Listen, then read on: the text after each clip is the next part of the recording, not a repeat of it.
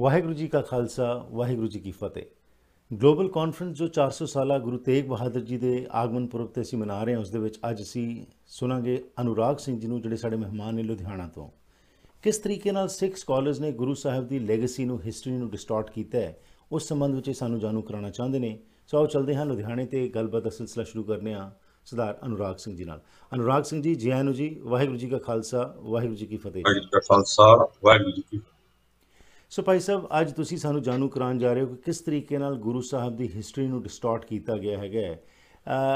ਬਹੁਤ ਨਾਮਵਰ ਸਿੱਖ ਸਕਾਲਰਸ ਦੇ ਨਾਂ ਤੁਸੀਂ ਲਏ ਨੇ, ਜਿਸ ਤਰ੍ਹਾਂ ਡਾਕਟਰ ਗੰਡਾ ਸਿੰਘ ਤਾਂ ਹੋਰ ਸਕਾਲਰਸ ਦਾ ਤੁਸੀਂ ਦੱਸੋਗੇ ਸਾਨੂੰ ਸੋ ਇਹਦੇ ਪਿੱਛੇ ਤੁਸੀਂ ਕੀ ਸਮਝਦੇ ਹੋ, ਕੀ ਕਾਰਨ ਹੋਇਆ ਸਾਨੂੰ ਵਿਸਥਾਰ ਵਿੱਚ ਅਗਲੇ 25-30 ਮਿੰਟਾਂ ਦੇ ਵਿੱਚ ਤੁਹਾਡੇ ਤੋਂ ਅਸੀਂ ਜਾਣਕਾਰੀ ਲੈਣਾ ਚਾਹਾਂਗੇ ਜਦੋਂ ਆਪਣੇ ਹੀ ਬੰਦੇ ਇਹ ਸ਼ੁਰੂ ਤੋਂ ਚੱਲਿਆ ਅੱਜ ਨਹੀਂ ਹੈ ਸ਼ੁਰੂ ਤੋਂ ਚੱਲਿਆ ਗੁਰੂ ਘਰ ਚ ਹੀ ਪੈਦਾ ਹੋਈ ਸੀ ਪ੍ਰਿਥੀਮਾਨ ਮਿਹਰਬਾਨ। ਘਰ ਚ ਪੈਦਾ ਹੋਏ। ਇਹਨਾਂ ਨੇ ਸਾਡੀ ਗੁਰਬਾਣੀ ਨੂੰ ਜਿਹੜਾ ਡਿਸਟੋਰਟ ਕੀਤਾ। ਗੁਰੂ ਗ੍ਰੰਥ ਸਾਹਿਬ ਰਚਿਆ ਗਿਆ। ਇਹ ਸਾਡੇ ਲਈ ਕੋਈ ਨਵੀਂ ਗੱਲ ਨਹੀਂ ਸੀ।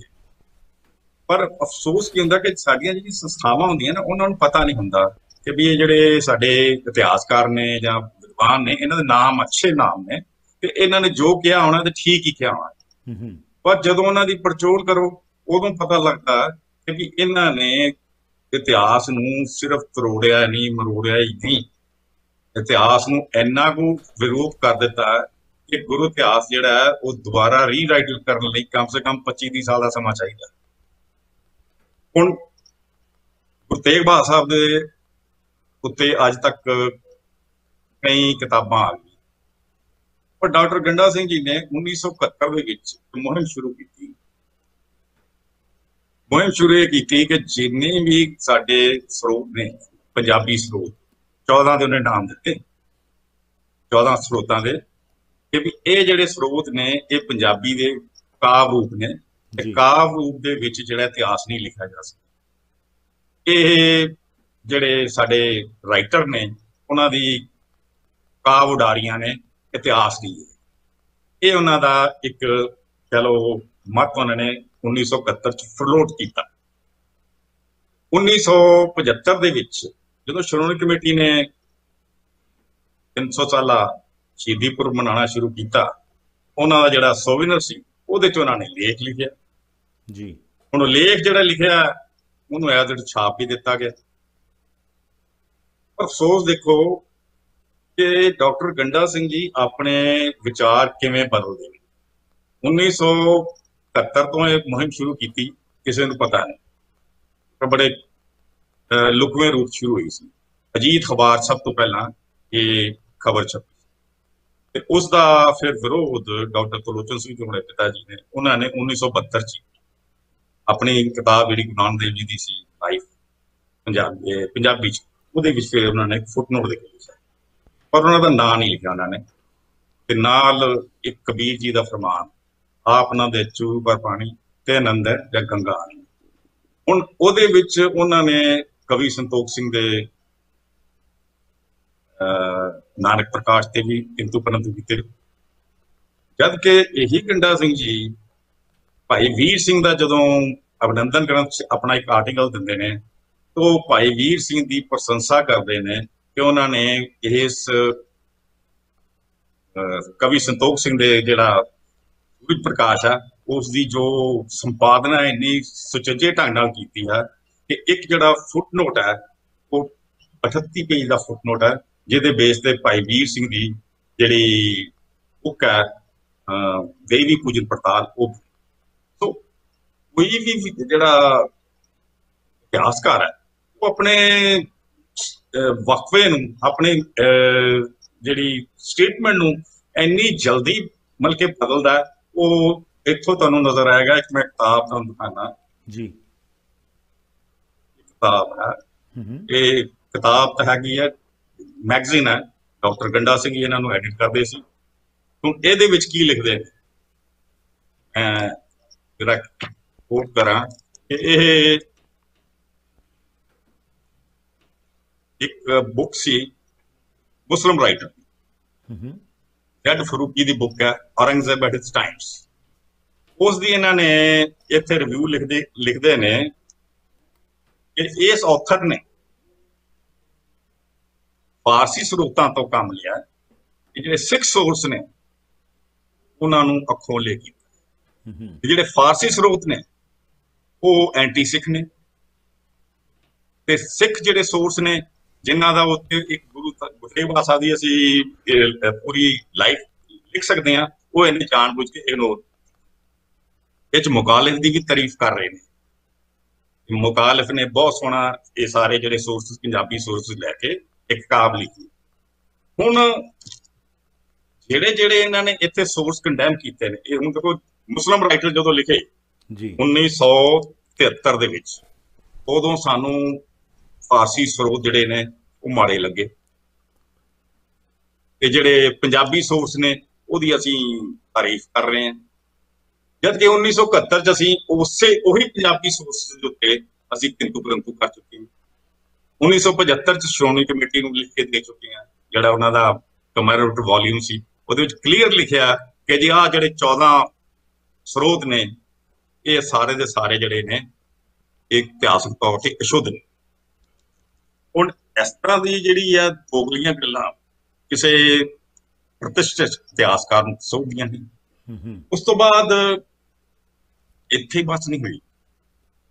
ਹੁਣ ਉਹਨਾਂ ਨੇ ਕਿਹ ਕਿਤਾਬ ਜੀ ਦ 6 ਹੂੰ ਇਹ ਲਾ ਲਓ ਕਿ ਤੁਹਾਡੇ ਸਿੱਖ ਫਾਊਂਡੇਸ਼ਨ ਯੂਐਸ ਨੇ ਛਾਪ। ਜੀ। 1974 ਦੇ ਵਿੱਚ ਕਪਾਨੀ ਸਾਹਿਬ। ਇਹਦੇ ਚ ਤਿੰਨ ਚਾਰ ਲਾਈਨਾਂ ਦਿੰਦੇ ਨੇ ਸਿਰਫ। ਇਸ ਇਹੀ ਕਿਤਾਬ ਜਿਹੜੀ ਹੈ ਫਿਰ 1971 ਦੇ ਵਿੱਚ ਦੂਸਰੇ ਟਾਈਟਲ ਤੋਂ ਦਿੱਲੀ ਕਮੇਟੀ ਛਾਪਦੀ ਹੈ। ਜੀ। ਇਹਦੇ ਕੀ ਹੈ ਜੀ? ਸੋਰਸ ਕਿਹੜਾ ਯੂਜ਼ ਕੀਤਾ? ਸੋਰਸ ਉਹੀ ਸੀਰੀਅਲ ਮੁਤਾਖਰੀ ਗੁਲਾਮ ਹੁਸੈਨ ਦਾ। ਕਿ ਗੁਰਤੇਗ ਬਹਾਦਰ ਸਾਹਿਬ ਹਾਫਿਜ਼ ਆਦਮ ਦੇ ਨਾਲ ਬੰਗਲਾਦੇਸ਼ ਤੇ ਮਾਲਵੇ ਦੇ ਵਿੱਚ ਲੋਕਾਂ ਨੂੰ ਬਗਾਵਤ ਲਈ ਉਕਸਾ ਰਹੇ ਸੀ। ਉਹਨਾਂ ਨੂੰ ਤੇ ਲੋਕ ਉਕਸਾ ਵੀ ਰਹੇ ਸੀ ਤੇ ਲੋਕਾਂ ਤੋਂ ਲੁੱਟ ਖਸੁੱਟ ਕਰ ਰਹੇ ਸੀ। ਸੀਰੀਅਲ ਮੁਤਾਖਰੀ ਨੂੰ ਇਹ ਕੋਟ ਕਰ ਰਹੇ ਨੇ। ਤੇ ਉਹਨਾਂ ਦੇ ਨਾਲ ਹਾਫਿਜ਼ ਆਦਮ ਸੀ। ਹਾਫਿਜ਼ ਆਦਮ ਇਹਨਾਂ ਨੂੰ ਆਪ ਹੀ ਲਿਖਦੇ ਨੇ ਕਿ ਹਾਫਿਜ਼ ਆਦਮ ਗੁਰੂ ਇਸ ਘਟਨਾ ਵਿੱਚ ਸਮੇਂ ਹੈ ਹੀ ਨਹੀਂ ਸੀ। ਉਹ ਗੁਰੂ ਹਰਗੋਬਿੰਦ ਸਾਹਿਬ ਦੇ ਟਾਈਮ ਦਾ। ਜੀ। ਤੇ ਦੂਸਰੇ ਪਾਸੇ ਉਹਨੂੰ ਕੋਟ ਵੀ ਕਰ ਰਹੇ ਨੇ ਉਸੇ ਸੋਰਸ ਨੂੰ ਸੀਰੀਅਲ ਮੁਤਾਖਰੀ ਨੂੰ।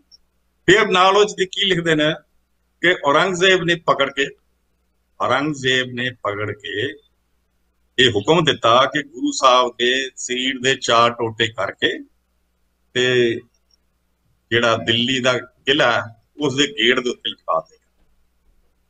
ਹੁਣ ਇਹ ਕਿਸ ਨੂੰ ਹਜ਼ਮ ਹੋਏਗੀ ਜੀ ਗੱਲ? ਵੀ ਪਹਿਲੀ ਤੇ ਗੱਲ ਹੈ ਸਾਡੇ ਗੁਰਦੁਆਰੇ ਦੋ ਸੀਸਗੰਜ ਤੇ ਗੁਰਦੁਆਰਾ ਰਕਾਬਗੰਜ ਤੋਂ ਅਸੀਂ ਨਮੁਕਰ ਹੁੰਨੇ ਹਾਂ। ਤੇ ਕਿਹੜਾ ਗੇਟ ਹੈ? ਕਿਹੜਾ ਕਿਲਾ ਹੈ? ਜਿਹੜਾ ਉਹਦੇ ਚ ਦਿੱਲੀ ਦੇ ਵਿੱਚ ਜਿਹਦੇ ਚਾਰ ਗੇਟ ਨੇ। ਜਿਨ੍ਹਾਂ ਦੇ ਉੱਤੇ ਗੁਰੂ ਸਾਹਿਬ ਦੇ ਸੀਟ ਦੇ ਚਾਰ ਟੋਟੇ ਕਰਕੇ ਲਟਕਾਏ ਗਏ। ਇਸ ਤਰ੍ਹਾਂ ਦਾ ਇਤਿਹਾਸ ਸਾਡਾ ਲਿਖਿਆ ਗਿਆ। ਹੂੰ ਹੂੰ। ਗੁਰੂ ਤੇਗ ਬਹਾਦਰ ਸਾਹਿਬ ਦਾ। ਔਰ ਡੈਲੀਬਰੇਟਲੀ ਦੇਖੋ ਇੱਕ ਹੁੰਦਾ ਗਲਤੀ। ਉਹ। ਆਪਾਂ ਕੋਈ ਵੀ ਕਿਤਾਬ ਲਿਖਾਂਗੇ ਉਹਦੇ ਵਿੱਚ ਗਲਤੀਆਂ ਹੋ ਜਾਣੀਆਂ। ਉਹ ਆਪਾਂ ਨੂੰ ਕਹਿੰਦੇ ਆ ਜੀ ਭੁੱਲ। ਤੇ ਇਸੇ ਕਰਕੇ ਅਸੀਂ ਆਪਣੀ ਅਰਦਾਸ ਵੀ ਰੱਖਿਆ ਅੱਖਰ ਵਾਧਾ ਘਾਟਾ ਪੁੱਟ ਪਾ ਕਿਤੇ ਮਿਸਪ੍ਰਿੰਟ ਵੀ ਹੋ ਜਾਂਦਾ। ਹੈ ਦੂਸਰੇ ਪਾਸੇ ਹੁੰਦਾ ਗੁਨਾਹ ਜਿਹੜਾ ਜਾਣਬੁੱਝ ਕੇ ਕੀਤਾ ਜਾਵੇ। ਔਰ ਮੈਨੂੰ ਪਤਾ ਵੀ ਹੈ ਕਿ ਮੈਂ ਗਲਤ ਕਰ ਰਿਹਾ ਲੇਕਿਨ ਮੈਂ ਕਰਨਾ ਜ਼ਰੂਰ ਹੈ। ਹੁਣ ਇਹ ਦੋ ਤੁਹਾਨੂੰ ਕਿਤਾਬਾਂ ਤਾਂ ਪਹਿਲਾਂ ਤੇ ਗੁਰੂ ਸਾਹਿਬ ਦੀ ਸ਼ਹਾਦਤ ਕਿਵੇਂ ਹੋਈ? ਜਦ ਸੀ ਜਦੋਂ ਹਾਫਿਜ਼ ਆਦਮ ਉੱਥੇ ਹੈ ਹੀ ਨਹੀਂ ਸੀ ਉਹ ਗੁਰੂ ਹਰਗੋਬਿੰਦ ਸਾਹਿਬ ਦੇ ਟਾਈਮ ਦਾ ਆਪ ਖੁਦ ਮੰਨਦੇ ਨੇ। ਤੇ ਫਿਰ ਉਸ ਸੋਰਸ ਦੇ ਬੇਸ ਤੇ ਆਪਣੀਆਂ ਕਿਤਾਬਾਂ ਲਿਖਣਾ ਹੁੰਦਾ। ਉਸੇ ਸੋਰਸ ਦੇ ਬੇਸ ਤੇ ਅਸੀਂ ਸਾਰਾ ਰਗੜਾ ਸਗੜਾ ਪੂਰੀ ਜਿਹੜੀ ਗੁਰਤੇਗ ਬਹਾਦਰ ਦੇ 300 ਸਾਲਾ ਅਹ, ਸ਼ਹੀਦੀ ਪਰਵ ਸੀ ਉਹ ਚ ਲਟਕਾ। ਇਹਨਾਂ ਦੀ ਪੂਰੀ ਇੱਕ ਬਹਿਸ ਚੱਲੀ ਸੀ ਸਟੇਟਸਮੈਨ ਕਲਕੱਤਾ ਵਿੱਚ ਕੇ ਕੇ ਖੁੱਲਰ ਤੇ ਡਾਕਟਰ ਗੰਡਾ ਸਿੰਘ ਦੀ। ਜੀ। ਉਸ ਬਹਿਸ ਨੂੰ ਦੇਖ ਕੇ ਇੱਕ ਬੰਗਾਲੀ ਬੱਚੇ ਨੇ ਇੱਕ ਇੰਨੀ ਕੁ ਗੱਲ ਕਹੀ ਤੁਹਾਡੇ ਲਈ ਗੁਰੂ ਤੇਗ ਬਹਾਦਰ ਸਾਹਿਬ, ਗੁਰੂ ਤੇਗ ਬਹਾਦਰ ਸਾਹਿਬ ਨਹੀਂ ਸਾਡੇ ਲਈ ਕੀ ਨੇ, ਸਾਡੀ ਉਹਨਾਂ ਨੇ ਰੱਖਿਆ, ਕਿਵੇਂ ਕੀਤੀ? ਉਹ ਮੈਂ ਹੀ ਨੂੰ ਤਾਂ ਉਹਨੇ ਫਿਰ ਲਿਖਿਆ ਸਿੱਖ ਰਿਵਿਊ ਦੇ ਵਿੱਚ। ਹੁਣ ਸਾਡੇ ਜਦੋਂ ਜੇ ਅਸੀਂ ਇਤਿਹਾਸਕਾਰਾਂ ਦੀ ਗੱਲਾਂ ਕਰੀਏ, ਤੇ ਉਹ ਸਾਡਾ ਇਤਿਹਾਸ ਲਿਖਣ ਲਈ ਬਣਾਏ ਗਏ ਸੀ। ਉਹਨਾਂ ਨੂੰ ਯੂਨੀਵਰਸਿਟੀਆਂ 'ਚ ਇਸ ਕਰਕੇ ਪੋਸਟਾਂ ਦਿੱਤੀਆਂ ਗਈਆਂ ਕਿ ਉਹ ਸਾਡਾ ਇਤਿਹਾਸ ਲਿਖਣ ਜਾਂ ਇਤਿਹਾਸ ਨੂੰ ਪੜ੍ਹਨ ਇਹ ਤਾਂ ਰੇ ਜੀ ਇਹਨਾਂ ਦੀ ਜਿਹੜੇ ਬਦਲਤੇ ਜਿਹੜੇ ਨੇ ਬਦਲਦੇ ਕਿਵੇਂ ਨੇ? ਅੰਦਰੋਂ ਅੰਦਰ ਸੇਮ ਨੇ ਕਿ ਜੀ ਮੇਰਾ ਮਕਸਦ ਇਹ ਨਹੀਂ ਹੈ ਕਿ ਇਤਿਹਾਸ ਲਿਖਣਾ ਇਤਿਹਾਸ ਕਿਵੇਂ ਲਿਖਣਾ ਹੁਣ ਇੱਕ ਮੈਂ ਡਾਕਟਰ ਗੰਡਾ ਸਿੰਘ ਤੋਂ ਬਾਅਦ ਡਾਕਟਰ ਕਿਰਪਾਲ ਸਿੰਘ ਜੀ। ਹੁਣ ਡਾਕਟਰ ਕਿਰਪਾਲ ਸਿੰਘ ਦੀ ਆ ਕਿਤਾਬ ਹੂੰ ਹੂੰ। ਕ੍ਰੋਨਿਕ ਵੱਲੋਂ ਛਾਪੀ 2004 ਚ। ਜੀ। ਇਹਦੇ ਚ ਕੀ ਦੇ ਰਹੇ ਨੇ ਜੀ? ਗੁਰੂ ਤੇਗ ਬਹਾਦਰ ਸਾਹਿਬ ਦੀ ਜਨਮ ਤਿਥ 19 ਮਗਰ 1678 ਮੇਰੇ ਅਕਤੂਬਰ 16 ਨਾ ਅਕਤੂਬਰ 18 1621 ਜਨਮ ਦੀ ਤਿਥੀ ਬਦਲ ਤੇ ਬੀਬੀ ਵੀਰੋ ਜੀ ਦਾ ਜਿਹੜੀ ਜਨਮ ਤਿਥੀ ਜੁਲਾਈ 11 1626 ਹੂੰ ਹੂੰ। ਇਹ ਦੇ ਰਹੇ ਨੇ। ਉਸ ਤੋਂ ਬਾਅਦ ਇਹ ਬੀਬੀ ਵੀਰੋ ਜੀ ਦਾ ਵਿਆਹ ਦੇ ਰਹੇ ਨੇ। 4 ਮਈ 1628 ਨੂੰ, ਜਦੋਂ 1 ਸਾਲ 9 ਮਹੀਨੇ ਤੇ 5 ਦਿਨ ਪਏ ਸਨ ਤੋਂ ਬਾਅਦ ਹੋਰ ਇਸੇ ਮੈਂ ਨੋਟ ਕੀਤਾ, ਗੁਰੂ ਹਰਗੋਬਿੰਦ ਸਾਹਿਬ ਦੀ ਪਹਿਲੀ ਮੈਰਿਜ ਪਹਿਲੀ ਮੈਰਿਜ ਮਾਤਾ ਦਮੋਦਰੀ ਜੀ ਦੇ ਨਾਲ ਅਗਸਤ 1603 ਚ ਦਿੰਦੇ ਨੇ, ਜਦੋਂ ਗੁਰੂ ਹਰਗੋਬਿੰਦ ਸਾਹਿਬ ਦੀ ਉਮਰ 8 ਸਾਲ ਸੀ। ਤੇ ਜਿਹੜੀ ਬਾਬਾ ਗੁਰਦਿੱਤਾ ਜੀ ਦਾ ਜਨਮ ਦੇ ਰਹੇ ਨੇ ਜਦੋਂ ਗੁਰੂ ਤੇਗ ਬਹਾਦਰ ਸਾਹਿਬ ਅਹ ਗੁਰੂ ਹਰਗੋਬਿੰਦ ਸਾਹਿਬ ਦੀ ਉਮਰ 13 ਸਾਲ। ਹੁਣ ਤੁਸੀਂ ਹਿਸਾਬ ਲਾ ਲਓ ਵੀ ਤਰੀਕਾਂ ਦੇ ਦੇਣੀਆਂ। ਜੀ। ਹੋਰ ਸਾਡੇ ਪਟਵਈ ਪਟਵਈਆਂ ਦੇ ਵਿੱਚ ਅੱਜ ਤੱਕ ਕਿਸੇ ਨੂੰ ਦਿਖਾਈਆਂ ਨਹੀਂ ਗਈਆਂ 1971 ਤੋਂ ਇਹਦਾ ਰੌਲਾ ਪੈ ਰਿਹਾ। 1975 ਦੇ ਵਿੱਚ ਉਦੋਂ ਡਾਕਟਰ ਐਸ ਐਸ ਪਾਲ ਹੁੰਦੇ ਸੀ।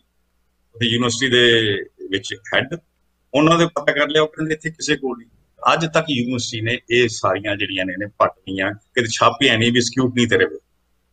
ਉਹ ਸਿਰਫ ਜੋ ਇਹਨਾਂ ਲੋਕਾਂ ਨੇ ਯੂਜ਼ ਕੀਤੀਆਂ ਨੇ, ਉਹਨਾਂ ਦੀ ਆਪਣਾ ਬੇਸ ਤੇ ਸਾਰਾ ਇਤਿਹਾਸ ਪੈ ਰਿਹਾ। ਹੁਣ ਇਹ ਗੁਰੂਆਂ ਸਾਹਿਬ, ਗੁਰੂ ਸਾਹਿਬ ਦੀ ਇਹ ਉਮਰਾਂ ਬਦਲ ਦਿਓ, ਇਤਿਹਾਸ ਬਦਲ ਦਿਓ, ਇਹ ਡਾਕਟਰ ਕਿਰਪਾਲ ਸਿੰਘ ਰਾ ਨੇ ਕੀਤਾ। ਹੁਣ ਇਹ ਇਹ ਦੱਸੋ ਵੀ ਅਸੀਂ ਕੀ ਕਰਾਂਗੇ? ਸਾਡੇ ਯੂਨੀਵਰਸਿਟੀ ਦੇ ਜਿਹੜੇ ਸਕਾਲਰਸ ਨੇ ਉਹ ਡੇਟ ਆਫ ਬਰਥ ਵੀ ਬਦਲਦੇ ਨੇ। ਹੂੰ ਹੂੰ। ਗੁਰੂ ਤੇਗ ਬਹਾਦਰ ਸਾਹਿਬ ਦੀ ਡੇਟ ਜਿਹੜੀ ਆ 18 ਅਕਤੂਬਰ 1621 ਹੁਣ ਦੇਖ ਲਓ ਅਸੀਂ 300 ਸਾਲਾ ਵੀ ਮਨਾ ਲਿਆ ਤੇ ਹੁਣ ਸਾਢੇ ਅਹ 400 ਸਾਲਾ ਵੀ ਮਨਾ ਰਹੇ ਹਾਂ। ਇਹ ਸਾਡੀ 29ਵੀਂ ਸ਼ਤਾਬਦੀ ਹੈ 29 ਜੀ। ਤੇ ਹਰੇਕ ਸ਼ਤਾਬਦੀ ਦੇ ਉੱਤੇ ਕੋਈ ਨਾ ਕੋਈ ਕੰਟਰੋਵਰਸੀ ਜ਼ਰੂਰ ਖੜੀ ਕੀਤੀ ਜਾਂਦੀ ਹੈ ਔਰ ਉਹ ਖੜੀ ਕਰਨ ਵਾਲੇ ਸਾਡੇ ਸਿੱਖ ਇਤਿਹਾਸਕਾਰ ਹੁੰਦੇ ਨੇ ਬਾਹਰ ਨਹੀਂ ਹੁੰਦਾ। ਇਹ ਇੱਕ ਅਫਸੋਸ ਨਾਲ ਕਹਿਣਾ ਪੈਂਦਾ। ਹੁਣ ਮੈਂ ਆਵਾਂਗਾ ਜੀ, ਡਾਕਟਰ ਗੰਡਾ ਸਿੰਘ ਜੀ ਤੇ ਡਾਕਟਰ ਫੌਜਾ ਸਿੰਘ ਤੇ doctor G S Anand. Doctor G S Anand ਤੇ ਡਾਕਟਰ ਫੌਜਾ ਸਿੰਘ ਤੇ ਇਹ ਜਿਹੜੇ ਡਾਕਟਰ ਗੰਡਾ ਸਿੰਘ ਜੀ, ਇਹਨਾਂ ਨੇ ਜੋ ਇਤਿਹਾਸ ਲਿਖਿਆ, ਉਹਦਾ ਵਿਵਰਣ ਜੇ ਕਰੋਗੇ ਤੇ ਤੁਹਾਨੂੰ ਲੱਗੇਗਾ ਪਤਾ।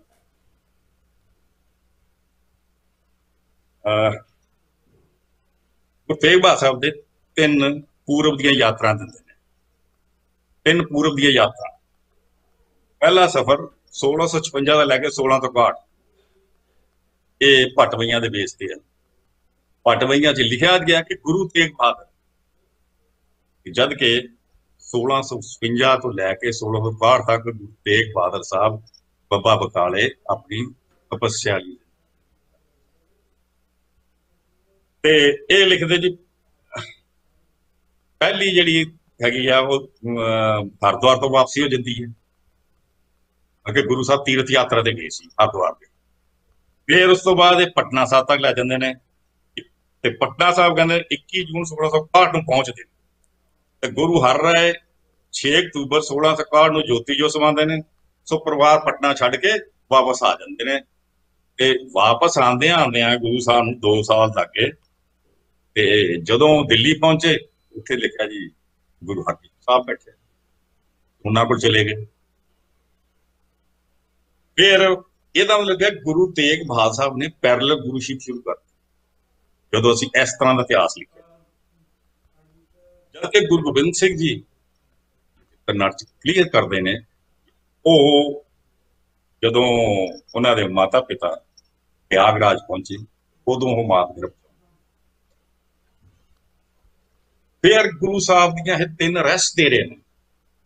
ਪਹਿਲੀ ਰੈਸਟ ਜਿਹੜੇ ਨੇ 8 ਨਵੰਬਰ 1665 ਨੂੰ। 8 ਨਵੰਬਰ 1665 ਨੂੰ ਉਹਨਾਂ ਨੇ ਰੈਸਟ ਦੇ ਰਹੇ ਨੇ ਗੁਰੂ ਤੇਗ ਬਹਾਦਰ ਸਾਹਿਬ। ਤੇ ਕਿੱਥੋਂ? ਤਮਤਾਨ ਤੋਂ। ਹੁਣ ਕੋਈ ਰਿਕਾਰਡ ਦਿਖਾ ਦਿਓ ਕਿ ਤਮਤਾਨ ਤੋਂ ਗੁਰੂ ਸਾਹਿਬ ਨੂੰ ਰੈਸਟ ਕੀਤਾ ਹੋਵੇ। ਜਦ ਕਿ ਤਮਤਾਨ ਤੋਂ ਗੁਰੂ ਸਾਹਿਬ ਅੱਗੇ ਗਏ ਨੇ ਅਹ, ਕੈਥਲ। ਕੈਥਲ ਜਾਂਦੇ ਨੇ ਤੇ ਉੱਥੇ ਉਹਨਾਂ ਨੇ ਅਹ, ਇੱਕ ਤਰਖਾਣ ਦੇ ਘਰ ਰੁਕਦੇ ਨੇ ਤੇ ਉੱਥੇ ਗੁਰੂ ਨਾਨਕ ਦੇਵ ਜੀ ਦਾ ਅਹ, ਜੋਤੀ ਜੋਤ ਪੁਰਬ ਜਿਹੜਾ ਉਹ ਮਨਾਉਂਦੇ ਆ 1665 ਚ। ਰੈਸਟ ਜੀ ਹੋ ਗਏ ਧਮਧਾਮ ਤੋਂ ਫਿਰ ਕੈਥਲ ਕਿਵੇਂ ਪਹੁੰਚ ਗਏ? ਫਿਰ ਇਸ ਤੋਂ ਬਾਅਦ 2 ਮਹੀਨੇ ਬਾਅਦ ਗੁਰੂ ਸਾਹਿਬ ਸਾਖੀ ਪੋਤੀ ਚ ਆ ਜਿਹੜਾ ਰੈਫਰੈਂਸ ਦਿੰਦੇ ਨੇ ਪਰ ਦਿੰਦੇ ਨਹੀਂ ਆ ਵੀ ਮੈਂ ਸਾਖੀ ਪੋਤੀ ਦੇ ਰਿਹਾ। ਫਿਰ ਧਮਧਾਮ ਤੋਂ ਬਾਅਦ ਤੁਹਾਨੂੰ ਦੱਸਿਆ ਵੀ ਉੱਥੇ ਗਏ ਨੇ ਕੈਥਲ। ਕੈਥਲ ਤੋਂ ਬਾਅਦ ਫਿਰ 2 ਮਹੀਨੇ ਬਾਅਦ ਉਹ ਬੰਗਲਾਦੇਸ਼ ਜਾਂਦੇ ਨੇ। ਬੰਗਲਾਦੇਸ਼ ਪੁਰਾਣੇ ਜਿਹੜਾ ਕੁਰੂਕਸ਼ੇਤਰ ਤੇ ਕਰਨਾਲ ਦੇ ਵਿੱਚ ਇਲਾਕਾ। ਉਹਨੂੰ ਬੰਗਲਾਦੇਸ਼ ਕਿਹਾ ਗਿਆ। ਉੱਥੇ ਇਹਨਾਂ ਨੇ ਗੁਰੂ ਨਾਨਕ ਦੇਵ 15 ਦਿਨ ਰਹਿੰਦੇ ਨੇ। ਤੇ ਗੁਰੂ ਨਾਨਕ ਦੇਵ ਜੀ ਦਾ ਅਵਤਾਰ 31 ਦੀ ਪੂਰਨਮਾਸ਼ੀ ਨੂੰ ਮਨਾਉਂਦੇ ਨੇ। ਤੇ ਗੁਰੂ ਸਾਹਿਬ ਜੀ ਅਰੈਸਟ ਹੋ ਗਏ ਸੀ ਉਹ ਅੱਗੇ ਕਿਵੇਂ ਚਲੇ ਗਏ? ਹੂੰ। ਇਹ ਸਾਖੀ ਪੋਤੀ ਚ ਦਿੱਤਾ ਗਿਆ। ਇੰਨਾ ਮਤਲਬ ਕਿ ਇੱਕ ਇਤਿਹਾਸ ਨੂੰ ਵਿਗਾੜਨਾ ਉਹ ਵੀ ਯੂਨੀਵਰਸਿਟੀ ਦੇ ਸਾਡੇ ਪ੍ਰੋਫੈਸਰ ਪਰ ਮੰਨੇ ਪਰ ਮੰਨੇ ਪ੍ਰੋਫੈਸਰ ਕਿਸੇ ਵਜ੍ਹਾ ਨਾਲ ਕੀਤੇ ਹੋਣ। ਦੂਸਰੀ ਵਾਰ 20 ਜੂਨ 1670 ਜਦੋਂ ਗੁਰੂ ਤੇਗ ਬਹਾਦਰ ਸਾਹਿਬ ਅਸਾਮ ਤੋਂ ਵਾਪਸੀ ਲਈ ਦਿੱਲੀ ਪਹੁੰਚੇ। ਹੁਣ ਪਿੱਛੇ ਪਹਿਲਾਂ ਕੋਈ ਇਹਨਾਂ ਨੂੰ ਕਿ ਦੂਸਰੀ ਵਾਰ 22 ਜੂਨ 1670 ਨੂੰ ਜਦੋਂ ਗੁਰਦੇਵ ਸਾਹਿਬ ਅਸਾਮ ਤੋਂ ਵਾਪਸੀ ਲਈ ਪਹੁੰਚੀ, ਤੇ ਪਾਤਸ਼ਾਹ ਬੁਰੰਜੀ ਇੱਕ ਕਾਮੀ ਰਿਕਾਰਡ ਹੈ ਉਹਦੇ ਬੇਸ ਤੇ ਦੇ ਰਹੇ ਨੇ। ਹੁਣ ਇੱਥੇ ਦਿਨ ਕਿ 2 ਮਹੀਨੇ 13 ਦਿਨ ਰਾਜਾ ਰਾਮ ਸਿੰਘ ਦੀ ਨਿਗਰਾਨੀ ਵਿੱਚ ਰਹੇ ਤੇ ਮਾਤਾ ਪੁਸ਼ਪਾ ਦੇਵੀ ਦੀ ਆਗਿਆ ਲੈ ਕੇ ਵਾਪਸ ਪੰਜਾਬ ਨੂੰ ਚਲੇ ਉਸੇ ਜਿਹੜੀ ਪਾ- ਪਾ- ਪਾਤਸ਼ਾਹ ਬੁਰੰਜੀਆਂ ਨੂੰ ਕੋਟ ਕਰਦੇ ਨੇ ਨਾ ਉਹ ਕਿਲ ਕਲੀਅਰ ਲਿਖਿਆ ਨਾ ਤਾਂ ਪੁਸ਼ਪਾ ਦੇਵੀ ਉਸ ਵਕਤ ਦਿੱਲੀ ਸੀ ਉਹ ਰਾਜਸਥਾਨ 'ਚ ਬੈਠੀ ਹੈ। ਤੇ ਨਾ ਹੀ ਰਾਜਾ ਰਾਮ ਸਿੰਘ ਇਸ ਵਕਤ ਦਿੱਲੀ ਸੀ ਉਹ ਅਸਾਮ 'ਚ ਬੈਠਾ ਹੈ। ਉਹ ਤੋਂ 1676 'ਚ ਵਾਪਸ ਆਉਂਦਾ ਜੀ। ਉੱਥੋਂ 1676 'ਚ ਆ ਰਿਹਾ ਵਾ ਹੂੰ ਹੂੰ। ਰਾਈਟ ਸੋ ਬੇਸਿਕਲੀ ਜੋ ਤੁਸੀਂ ਗੱਲ ਕਰ ਰਹੇ ਹੈਗੇ ਹੋ ਕਿ ਜਿਸ ਤਰੀਕੇ ਨਾਲ ਇਹ ਮੈਂ ਸਾਰੀ ਦੱਸਦਾ ਚੀਜ਼ਾਂ 1676 'ਚ ਵਾਪਸ ਆ ਰਿਹਾ ਤੇ ਔਰੰਗਜ਼ੇਬ ਇਹਨਾਂ ਇਤਿਹਾਸਕਾਰਾਂ ਨੇ ਫਿਰ ਕੋਟ ਕੀਤਾ ਕਿ ਜਿਹੜਾ ਸਾਡਾ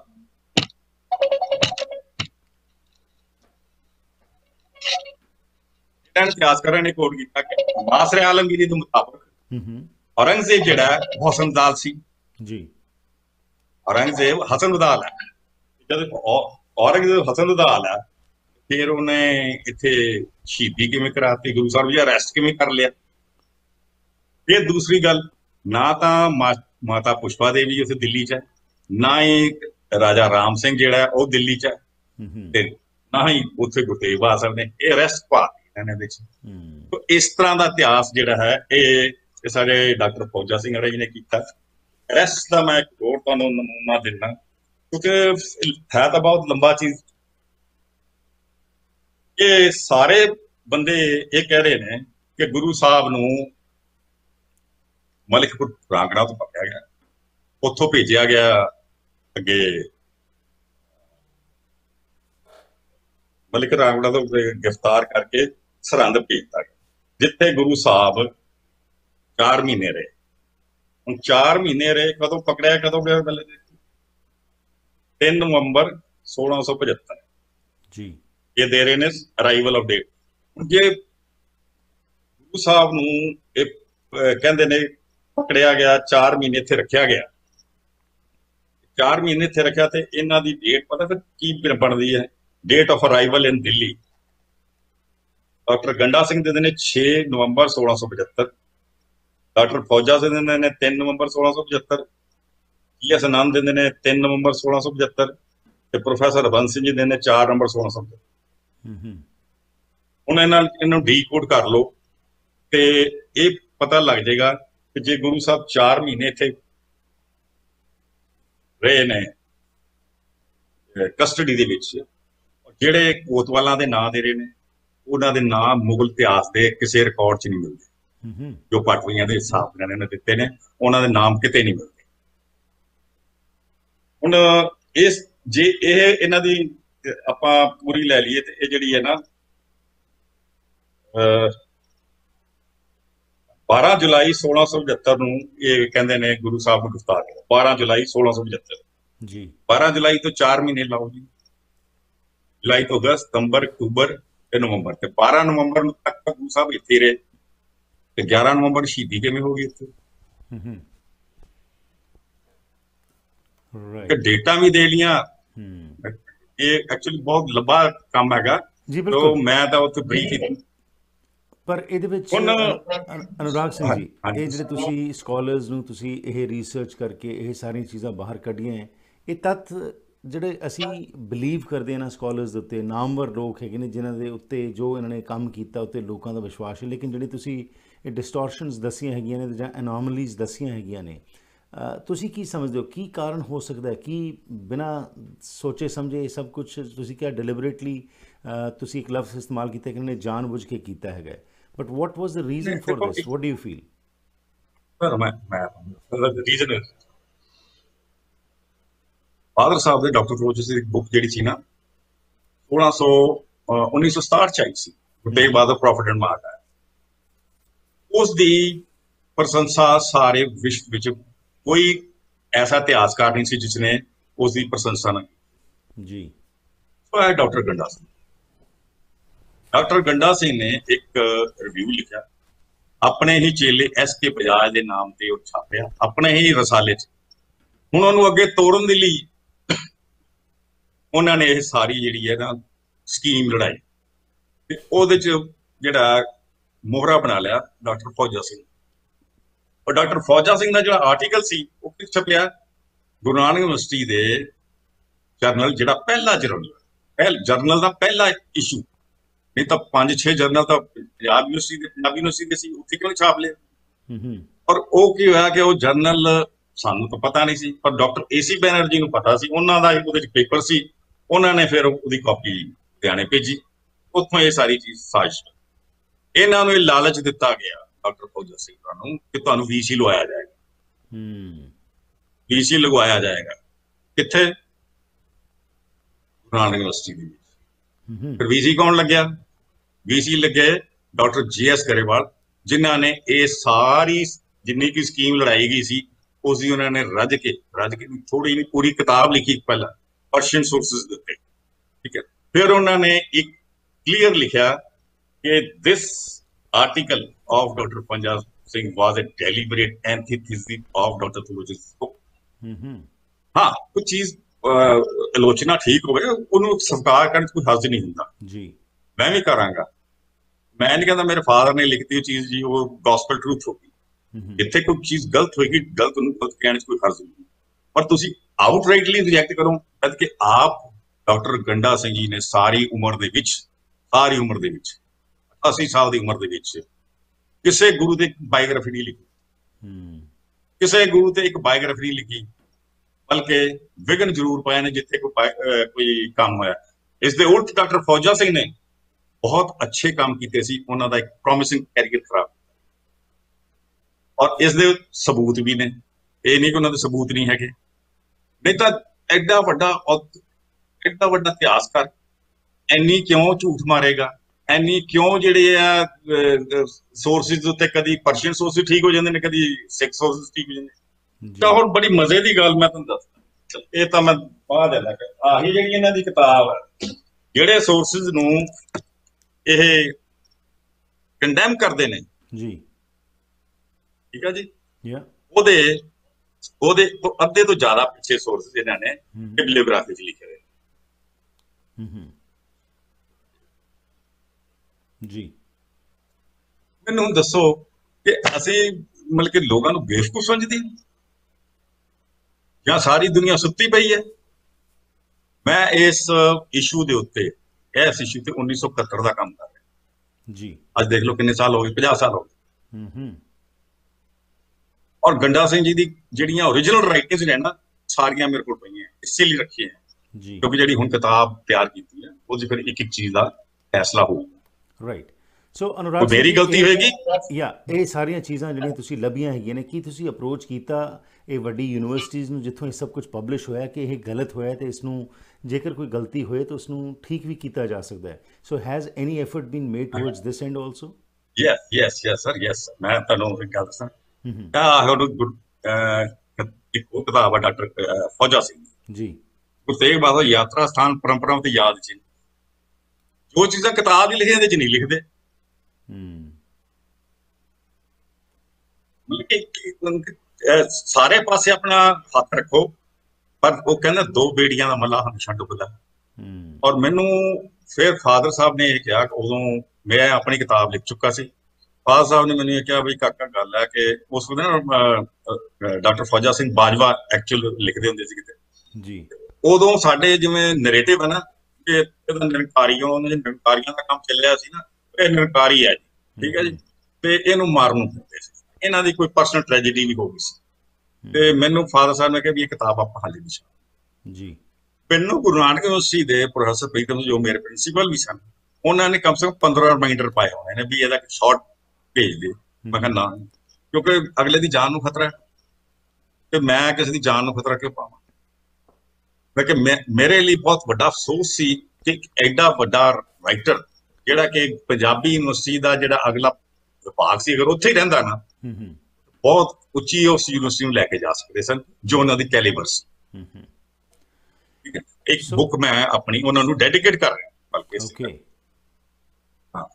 ਕਿਉਂਕਿ ਮੇਰੇ ਮਨ 'ਚ ਕੋਈ ਦੁਆਸ਼ ਥੋੜਾ ਕਿਸ ਰਾਈਟ ਸੋ ਲੇਕਿਨ ਇਸ ਨਾਲ ਇੱਕ ਚੀਜ਼ ਗੱਲ ਸਾਬਤ ਹੋ ਜਾਂਦੀ ਹੈ ਕਿ ਇੱਕ ਆਥਰ ਜਦੋਂ ਕੁਝ ਲਿਖਦਾ ਹੈ ਉਸ ਨੂੰ ਐਟ ਲੀਸਟ ਕੁਝ ਪਬਲਿਸ਼ ਕਰਨ ਤੋਂ ਪਹਿਲਾਂ ਕੋਈ ਪੈਨਲ ਹੋਵੇ ਜਿਹੜਾ ਉਸ ਨੂੰ ਵੈਰੀਫਾਈ ਕਰੇ ਤਾਂ ਕਿ ਉਹ ਚੀਜ਼ਾਂ ਅੱਗੇ ਆਣ ਨਹੀਂ ਤਾਂ ਜਿਸ ਤਰ੍ਹਾਂ ਤੁਸੀਂ ਇਹ ਰਿਸਰਚ ਕਰਕੇ ਗੱਲਾਂ ਬਾਹਰ ਕੱਢੀਆਂ ਨੇ these can be detrimental to the interest of the community at large ਕਿਉਂਕਿ ਜਦੋਂ ਕਮਿਊਨਿਟੀ ਦੇ ਵਿੱਚ ਅੱਗੇ ਆਉਣ ਵਾਲੀ ਪਨੀਰੀ ਜਦੋਂ ਇਹ 'ਚ ਕੁਝ ਪੜੇਗੀ ਤਾਂ ਕੀ ਉਹਦੇ ਚੋਂ ਡਿਡਿਊਸ ਕਰ ਸਕੇਗੀ? ਸੋ ਕੁਝ ਸਮਝ ਨਹੀਂ ਆਏਗੀ।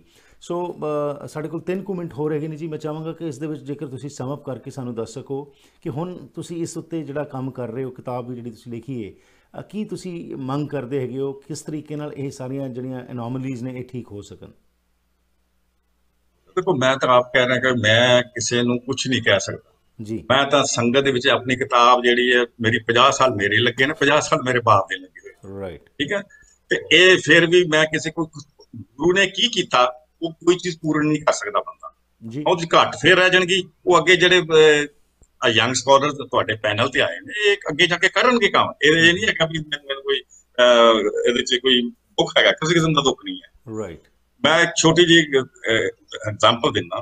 ਪੈਰਿਸ ਰਿਵਿਊ ਵਿੱਚ 1913 ਦੇ ਵਿੱਚ ਅਰਨਸਟ ਹੈਮਨਗੇ ਨੇ ਇੱਕ ਐਗਜ਼ਾਮਪਲ ਦਿੱਤੀ ਸੀ ਕਿ I work on the theory of iceberg iceberg ਜਿਹੜਾ ਉਹ 1/4 ਬਾਹਰ ਹੈ 3/4 ਸਮੁੰਦਰ ਦੇ ਅੰਦਰ ਹੈ ਬਿਲਕੁਲ ਇਹ ਕਹਿੰਦਾ ਜੇ ਤੁਸੀਂ ਜੇ ਤੁਸੀਂ ਸਿਰਫ ਉਤਲੀ ਉਤਲੀ ਦੇਖ ਕੇ ਤੇ ਥੱਲੇ ਦੇਖਿਆ ਨਹੀਂ ਵੀ 3/4 ਕੀ ਹੈ and there is a hole in your story ਇਹ ਇਤਿਹਾਸਕਾਰ ਲਈ ਸਭ ਤੋਂ ਜ਼ਰੂਰੀ ਹੈ ਹੂੰ ਹੂੰ ਤੀਸਰੀ ਗੱਲ ਜਿਹੜੀ ਦੂਸਰੀ ਗੱਲ ਹੈ ਕਿ ਪਰ- ਪਦਾਰਥ ਤੇ ਪਰਮਾਰਥ ਗੁਰੂ ਤੇਗ ਬਹਾਦਰ ਸਾਹਿਬ ਦੀ ਬਾਣੀ ਦਾ ਅਸੈਂਸ ਹੈ ਜੀ ਹੁਣ ਪਦਾਰਥਾਂ ਵੱਲ ਜਾਣਾ ਹੈ, ਤਾਂ ਫਿਰ ਇਹੋ ਜਿਹਾ ਇਤਿਹਾਸ ਲਿਖਿਆ ਜਾਏਗਾ ਜੇ ਪਰਮਾਰਥ ਵੱਲ ਜਾਓਗੇ ਤੇ ਫਿਰ ਆਪਣੀ ਖੋਜ ਕਰੋਗੇ ਤਾਂ ਉਹਦੇ ਚ ਫਿਰ ਫਲ ਦੀ ਲੋੜ ਨਹੀਂ ਹੁੰਦੀ। ਉਹ ਗੁਰੂ ਬਖਸ਼ਦਾ ਗੁਰੂ ਬਖਸ਼ਣਹਾਰ ਹੈ।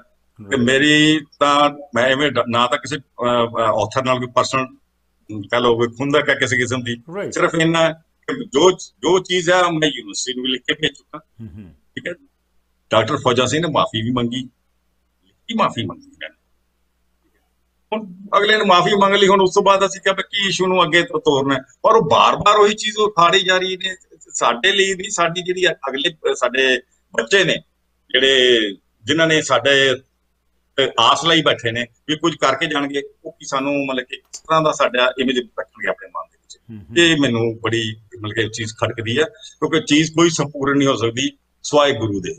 ਤੇ ਜੇ ਅਸੀਂ ਗੁਰੂ ਨੂੰ ਵੀ ਚੈਲੰਜ ਕਰਤਾ ਅੰਡਾ ਸਿੰਘ ਜੀ ਨੇ ਕਿਹਾ ਨਾ ਕਿ ਕਾਵ ਜਿਹੜੀ ਰਚਨਾ 'ਚ ਅਸੀਂ ਇਤਿਹਾਸ ਨਹੀਂ ਲਿਖ ਸਕਦੇ। ਫਿਰ ਉਹਨਾਂ ਨੇ ਗੁਰੂ ਗ੍ਰੰਥ ਸਾਹਿਬ ਹੀ ਨਹੀਂ ਪੜਿਆ ਦਸਮ ਗ੍ਰੰਥ ਸਾਹਿਬ ਹੀ ਨਹੀਂ ਪੜਿਆ ਗੁਰੂ ਗ੍ਰੰਥ ਸਾਹਿਬ 700 ਸ਼ਬਦ ਗੁਰੂ ਇਹਨਾਂ ਦੇ ਆਪਣੇ ਭਗਤਾਂ ਦੇ ਗੁਰੂ ਸਾਹਿਬਾਂ ਦੇ ਹੈਗਾ ਜਿਨ੍ਹਾਂ ਵਿੱਚ ਮੈਥੋਲੋਜੀਕਲ ਰੈਫਰੈਂਸ ਦਿੱਤੀਆਂ ਨੇ ਪੂਰਾ ਇਤਿਹਾਸ ਲਿਖ ਦਿੱਤਾ ਗਿਆ।